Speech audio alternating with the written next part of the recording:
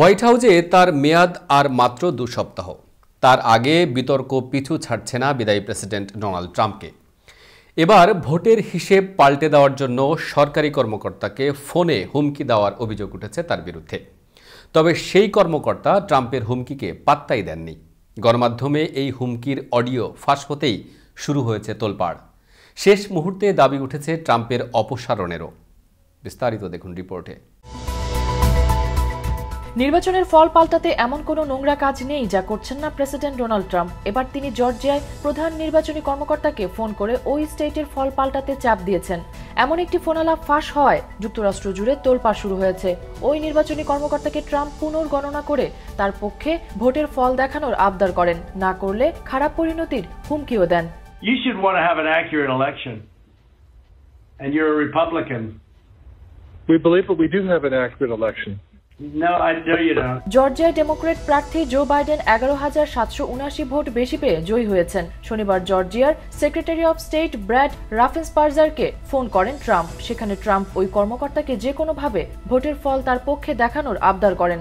তবে ব্র্যাড ট্রাম্পের এই অনুরোধে সাড়া দেননি। তাদের দীর্ঘ ফোনালাপের অডিও দ্য ওয়াশিংটন পোস্ট প্রথম প্রকাশ করলে যুক্তরাষ্ট্র জুড়ে তোলপাড় শুরু হয়। And there's nothing wrong with saying that, you know, uh, that you've recalculated. Well, Mr. President, the challenge that you have is the data you have is wrong.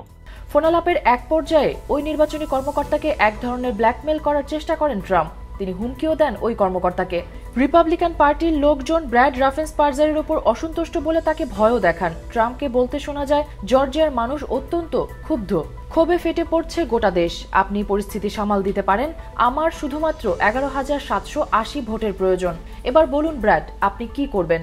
যদি না করেন এর করা মূল্য চোকাতে হতে পারে। I just want to find uh, 11,780 votes. ট্রাম্পের কথার পরিপ্রেক্ষিতে ব্র্যাড রাফেন্সপার্জারকে বলতে শোনা যায়, ট্রাম্প ভুল তথ্যের উপর ভিত্তি করে কথা বলছেন। রাজ্যের ভোট ঠিকই একাধিকবার গণনা করা হয়েছে। এখন ডোনাল্ড ট্রাম্পের কথায় নতুন ভোট খুঁজে পাওয়ার কাজ যে তিনি করবেন না, এমন কথা বিনয়ের সঙ্গে বলেন ব্র্যাড রাফেন্সপার্জার